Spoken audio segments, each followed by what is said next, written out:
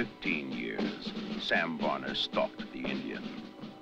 Tonight, the Indian stalks him. Gregory Peck, Eva Marie Saint in The Stalking Moon. Apaches? Uh, How many? just one. But there were three men. They were all armed. One set of tracks and a buffalo rifle. Salvaje. Last I heard of Salvaje, he was clear down to Window Rock. What the hell's he doing up here again? He came for his son. He'll come back for his son. They put a thousand miles between themselves and the Apache, but it wasn't enough.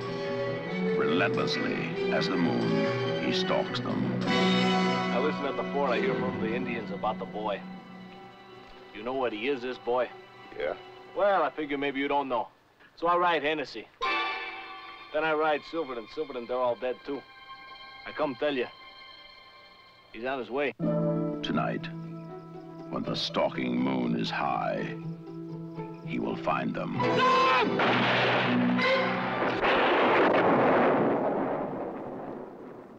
You won't hear him. I'll hear him. It doesn't happen that way.